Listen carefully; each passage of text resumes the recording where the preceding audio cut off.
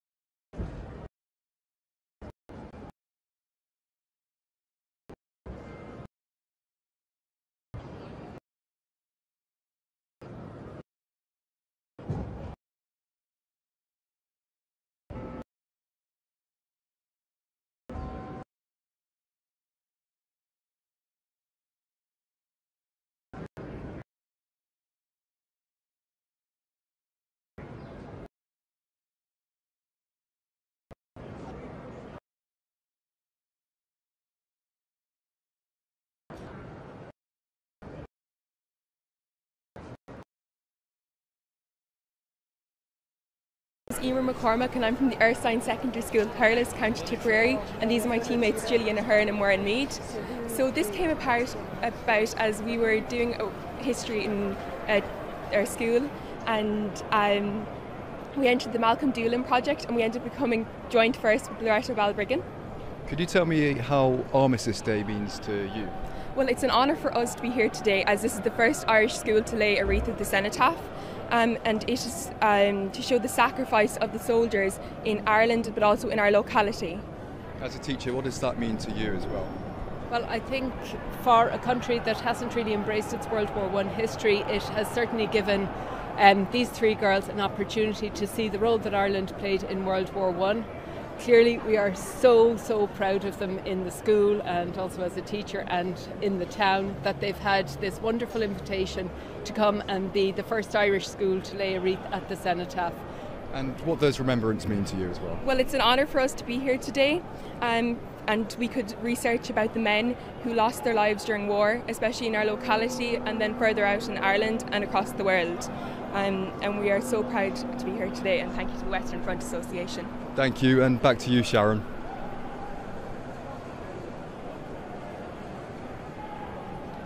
Josh, thank you very much indeed. Well, with me now is Dr. Andrea McKenzie from York University in Toronto, who has a specialist interest in the Great War. Thank you so much for joining us here today. Andrea's travelled to London, especially from Canada, to lay a wreath on behalf of the nurses from Canada who tended to Canadian servicemen during the Great War. Andrea, welcome to London on this gorgeous day. How many nurses from Canada served in the Great War? Thank you for asking. Uh, almost 3,000 Canadian nurses served overseas during the Great War, and hundreds more served back in Canada, also with the British forces and other organizations. What do you think that their experiences were like from what your research has told you? It really depended on where they were. So some of the nurses were sent to Gallipoli, uh, to that front, where they served under hardship conditions and yet they carried on for the sake of the men. Others were, many of them were on the Western Front. Their experiences there were quite emotionally traumatic because of the number of casualties and the severity of the wounds and the illnesses that they were seeing. However, they had to develop resi- resilience. Uh, they carried half years of war, and they did so by such things as friendship and camaraderie, laughter, and knowing that their services were needed and wanted and valued. The laughter, chatting beforehand, that you were reading through some old information. What kind of things did you find? Were the most poignant things for you? That's really difficult to say because there are so many poignant moments.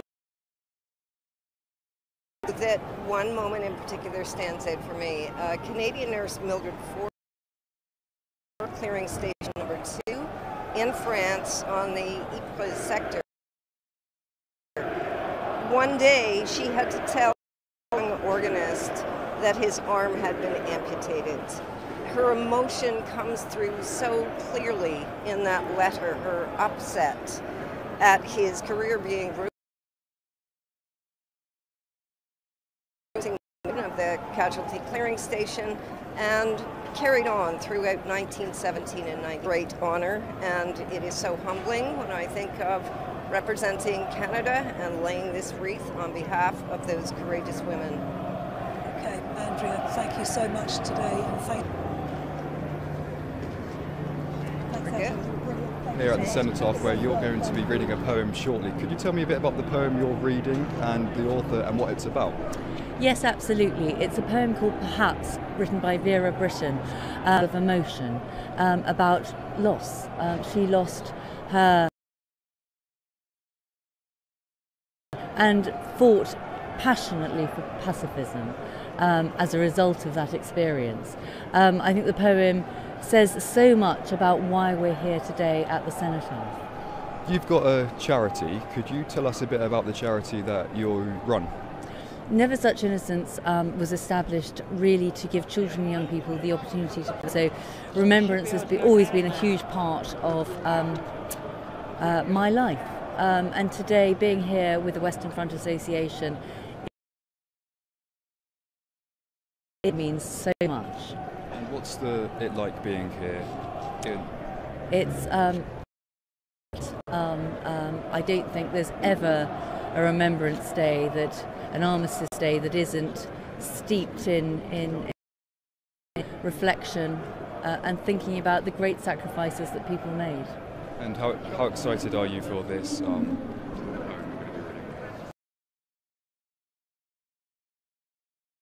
responsibility, um, but I feel immensely proud to be doing it and to be to be reading the words of Vera. Josh, thank you so much. RAF navigator who was captured and shot down by the Iraqis back in 1991 and is here today. Thank you so much for coming, John. What sort of a day is this for you? uh, to to remember, quite obviously, to uh, to spare just a couple of moments to remember, uh, to to mark their service and their sacrifice, especially during World War One. How important a day like today for um, for today's so many more conflicts, sadly, since your own. What sort of significance does it hold for us today in 2023? Well, I think uh, service and sacrifice. We remember the those who gave their lives in the First World War, the Second World War, Korea, the Falklands, but obviously, you know, I've lost a number of 21 and uh, colleagues and friends since then. So I think it's still very important that we through the ages.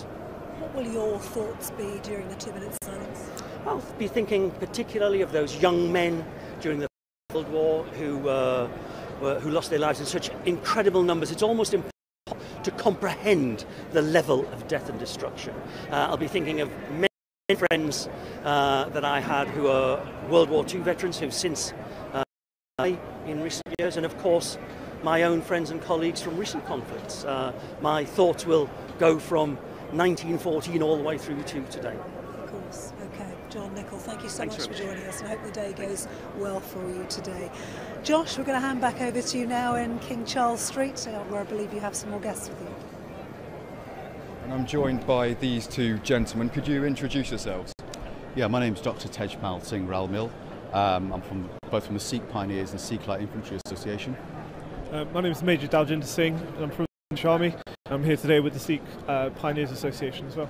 And what is your role today then? Yeah, so my great grandfather fought in the First World War, and I'm here to represent sacrifices that he and other men from the Indian Army made during the First World War. What's it like being here on the Cenotaph on Atlas? It's very overwhelming. Um, it's also nice to see that we're representing 1.3 million Indians who fought in the Indian Army in the First World War. Um, I'm keen to participate. So, as a Sikh officer serving today in the British Army, um, it fills me with a huge sense of pride uh, and honour to be here representing so much big more than me. Um, it's representing the contribution, people who've sacrificed. So, how important is remembrance for the pair of you? important that we remember all those who who died for the freedoms that we have today, uh, for, for, for, the freedom of um, you know we can live the, our lives the way we can live them, uh, because um, somebody gave their yesterday for our today. where we reflect on uh, all those friends, all those family members, all those people that we, uh, our forefathers who've given their lives. Um, it's the one time a year we can sit, reflect, and, and thank those people in the armed forces, who, those past and present, uh, who've served um, for, for the freedoms. Thank you very much. And now back to you, Sharon. It's a beautiful, very sunny day here in Whitehall this morning. It's a beautiful and very sunny day here in Whitehall this morning. That concludes our series of interviews this morning, which we hope you found really informative and interesting. Thank you so much for watching.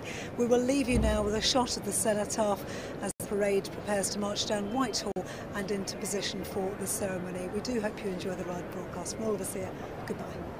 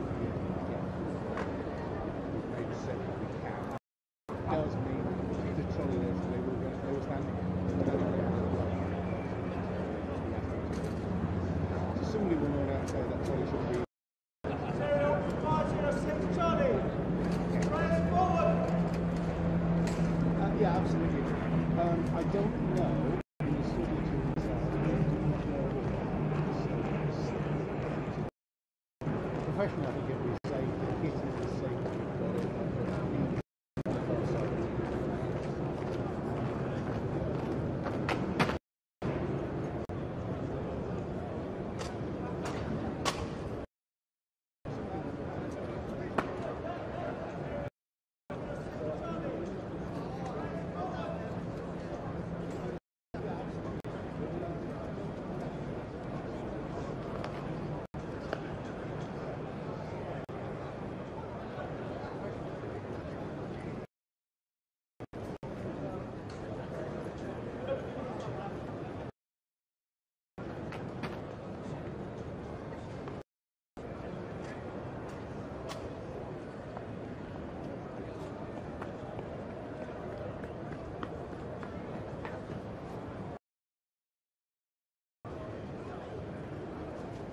job. Stop there, yeah.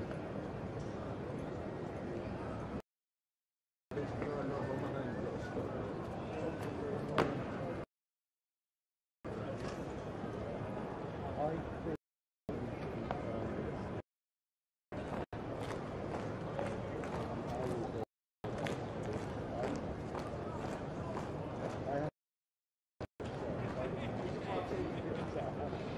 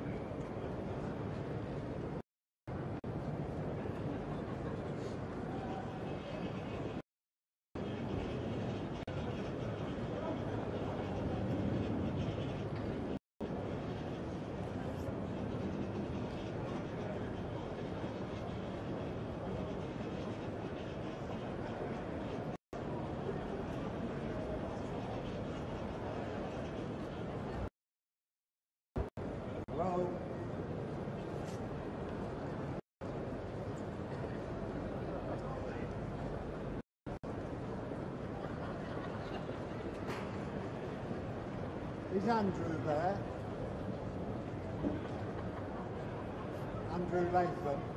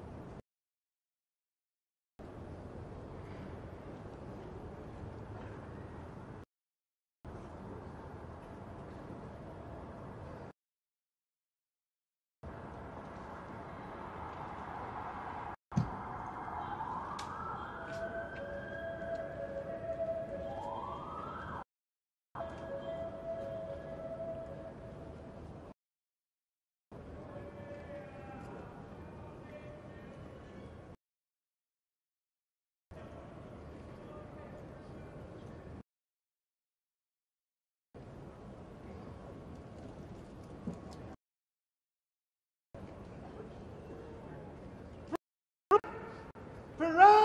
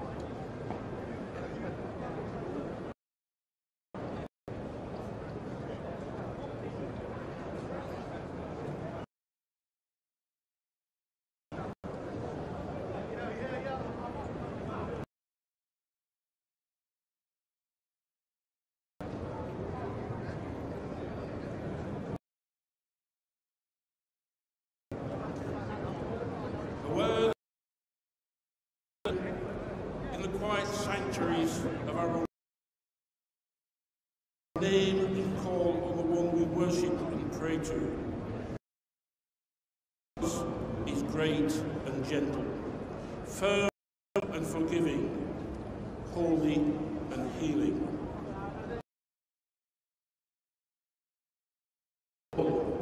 We gather here today, many other memorials across our nation, to remember that day 105 years ago when, day of the 11th month, for four years of warfare, the guns the battlefields. This year marks the 29th of the revival by the Western Front Association of the annual gathering here at the Cenotaph to commemorate that day and all it meant and still does. We are gathered here to continue to honour the Western Front Association's commitment enshrined in its motto of remembering. We think back, Lord, to the day grandfathers and great grandfathers when, as they answered the King and country's call to rally to the cause of freedom from the tyranny of others. Men and women of all ages and professions left all answer the call, becoming soldiers, sailors, and fighting the foe in all those differing environments. Today, we are again still and silent as we have observed the two minutes of silence, an observation commanded by King George V, the very first National Armistice Day service in 1920. It is to remember all those who have gone off to war. The second minute is to remember all those who did not return. In continuing this tradition of an annual commemoration, the Western Front Association encourages to remember. Remember all those who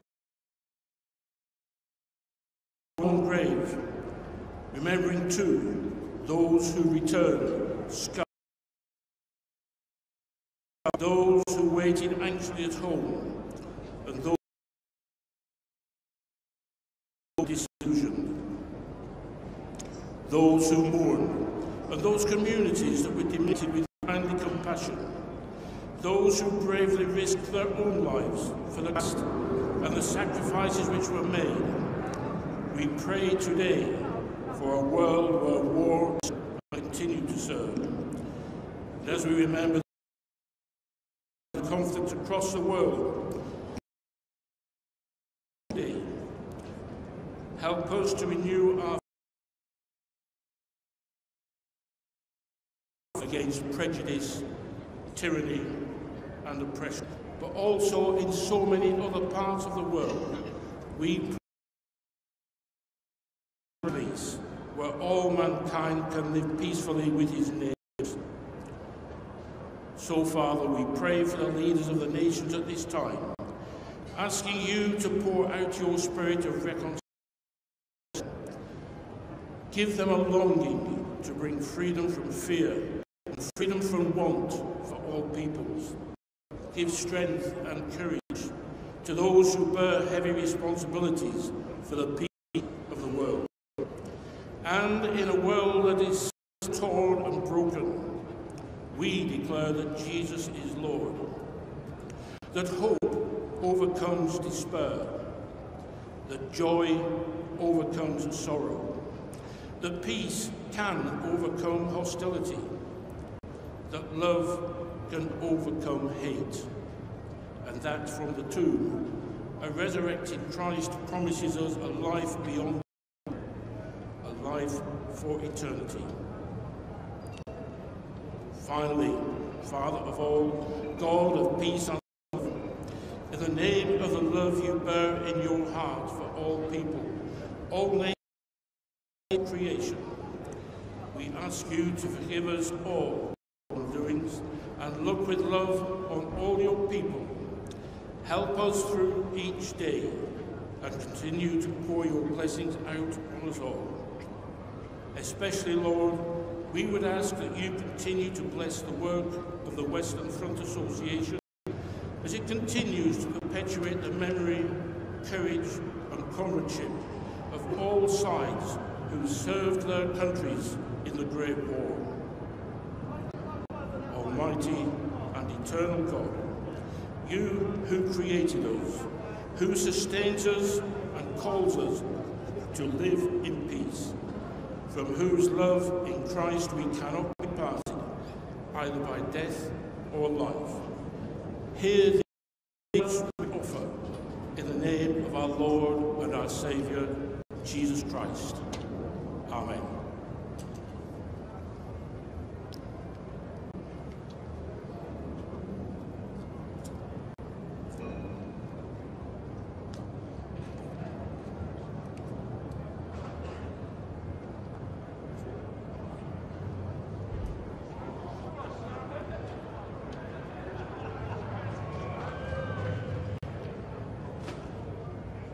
Perhaps by Vera Brittain. Perhaps someday the sun will shine again, and I shall see that still the skies are blue, and feel once more I do not live in vain, although I feel bereft of you. Perhaps the golden meadows at my feet will make the sunny hours of spring seem gay, and I shall find the white may blossom sweet, though you have passed away. Perhaps the woods will shimmer bright, and crimson roses once again,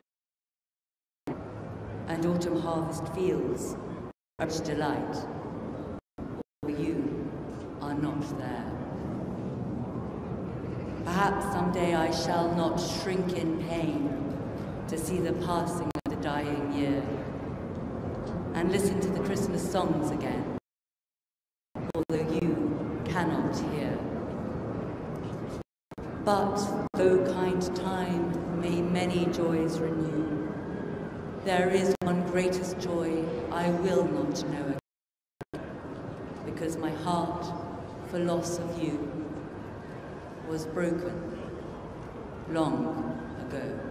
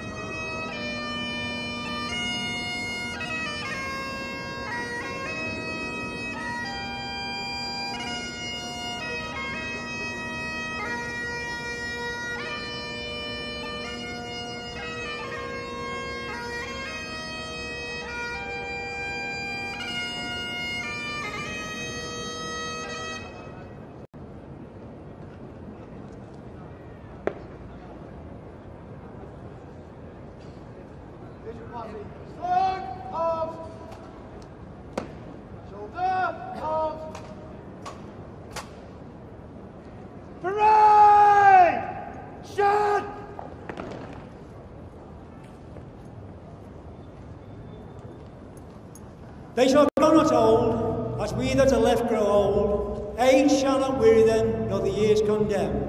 At the going down of the sun, and in the morning, we will remember them.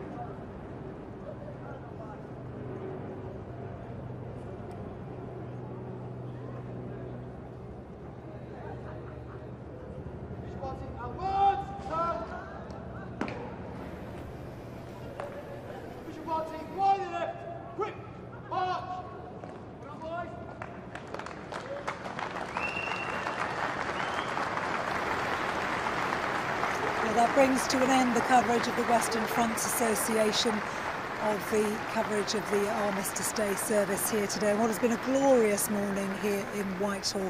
Thank you so much for joining us. I think it's obviously been an incredibly moving ceremony and I think for me the most moving of all was the reading of perhaps by wartime nurse here in Britain and of course the observation of the two minute silence. We've heard some amazing music here today of course as usual and seen some, some amazing spectacular scenes but of course the reason we're all here is to have paused, to, to have remembered all of those who gave their lives in the Great Wars and all the conflicts ever since. So we do hope that you've enjoyed our coverage today. Thank you so much for joining us.